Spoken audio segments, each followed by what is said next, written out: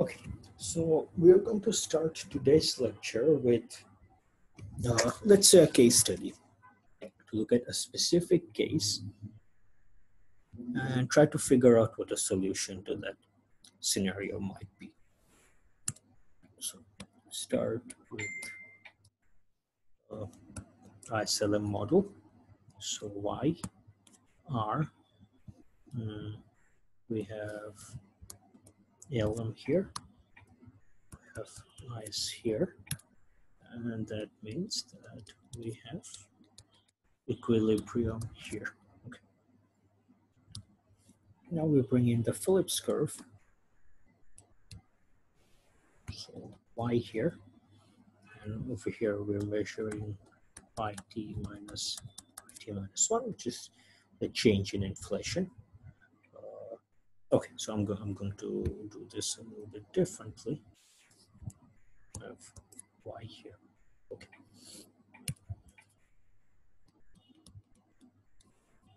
So y not here. And so suppose uh, this is what the Phillips curve looks like. And so we are at this point right now.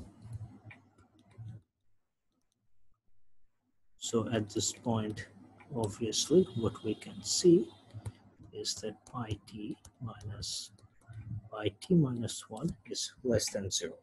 So what effectively means is we have a deflation. Okay. Now, what we want is for us to arrive at this point, which is the equilibrium. Now, what is interesting is that remember when we have talked about the zero lower bound of interests, interest can't be less than 0%, nominal interest. And as a result, monetary policy at times become powerless to influence the economy. So suppose that this point is zero. No need to do that. This point is zero. And so we have minus one, minus two, whatever. Interest rate can't be in this region, negative region, right? So the lowest uh, that we can be. Uh, let me just redraw this better. So this is zero.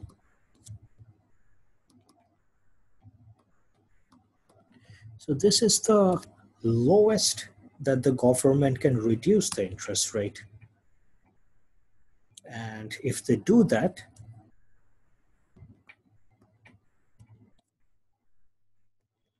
So we're still at this point. We have increased the output, fine, y1, y1, but the problem has not been solved.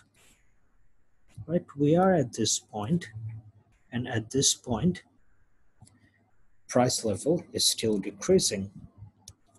Over here, inflation is less than inflation, which means basically eventually we're going to get into a place of deflation. What we also have, since we have reached the zero lower bound, we cannot reduce interest rate anymore, which means we cannot increase Y anymore, which means output stagnates, output cannot increase anymore, we are stuck at this level of output. And so that's a bad situation for the government. First of all, price is going down, which is bad. Second of all, output has stagnated. And in this situation, there is nothing that the central bank can do because we've effectively entered a liquidity trap situation where monetary policy is no longer effective. What can we do here? Maybe we can uh, undertake some sort of fiscal policy that increases the IS. And so it, uh, suppose, shifts the IS curve here. How can we do that? Well, we can, uh, I suppose we can increase Y by increasing G if government expenditure is going up or if taxation is going down, that's going to stimulate the economy. And once we have done that effectively, we arrive at this point. At this point, of course, pi t equals to pi t minus 1, which is inflation is uh, what do you call it? Inflation is constant. So this is just one of the examples of, uh, of, of situation where just one policy may not be enough and we will need a combination of policies to fix these problems. So also let's look at another problem.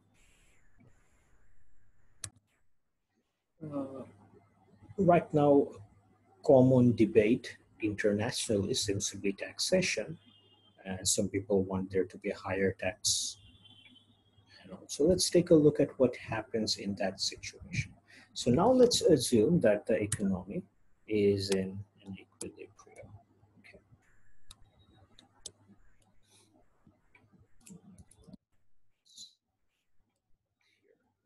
So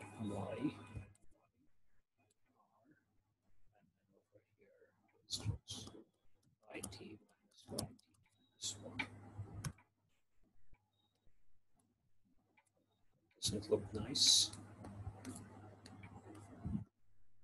We have the Phillips curve at this level of output.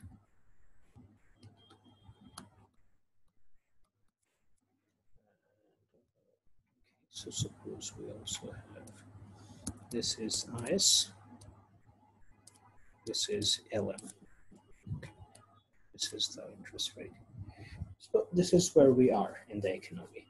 Now suppose the government wants to increase taxation. Okay. So in case you don't remember, let's just go through this. Y is equal to C plus I plus G. And C is a function of Y and T. Y positively, T negatively. So if T goes up, what that's going to mean is that C is going to go down and as a result, y is going to go down. And if y goes down, remember the IS curve is a function of i, y, and a few other things positively. So if the government increases tax, the IS curve is going to shift to the left. I may have rushed through the explanation right there, but we've, we've done this in chapter four and five. So hopefully it wasn't too difficult for you guys to follow. So as a result of this, what you see is two things.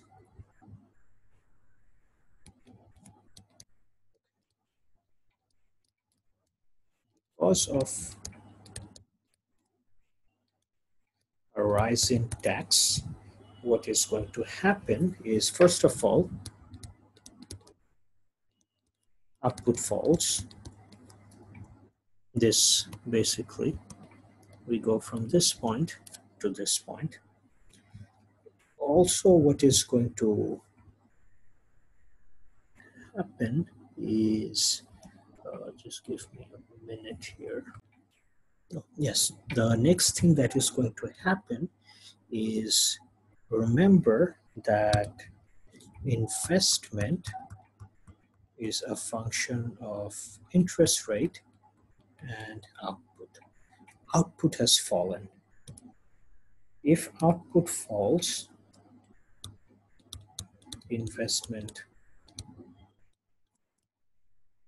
falls.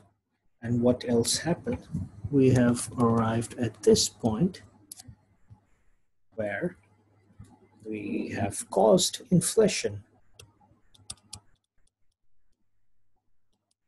Occurs because we're at a point where pi t is more than pi t minus 1.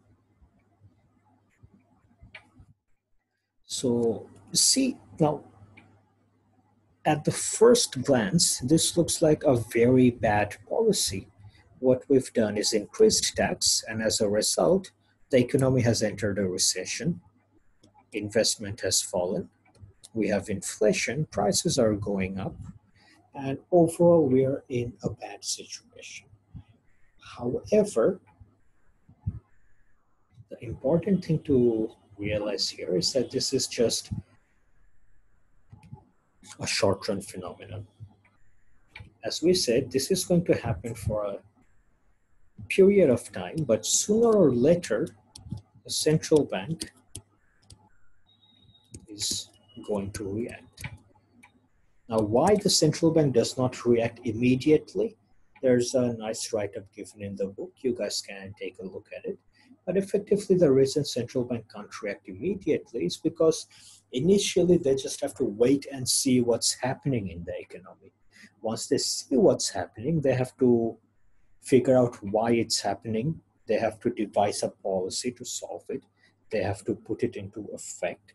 And every economic policy takes some time to, you know, taking effect. It's not like you implement a policy today and you see results immediately from tomorrow. So there are lag periods.